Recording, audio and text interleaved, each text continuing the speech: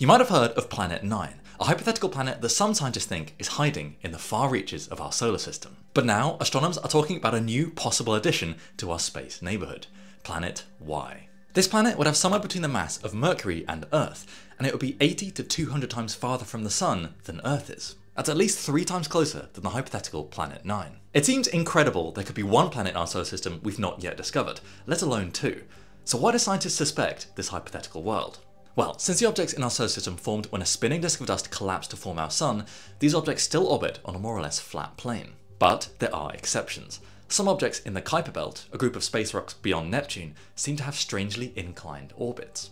Researchers recently studied these objects to work out what could have caused this, and the most likely solution they found was that these orbits are being warped by the presence of a Mars-sized planet nearby, the hypothetical Planet Y.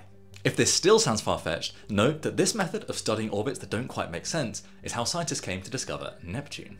And now, with a newly operational Vera Rubin telescope scanning its entire night sky every three days, many astronomers think that if Planet Y or Planet 9 are out there, we stand a good chance of finding them very soon.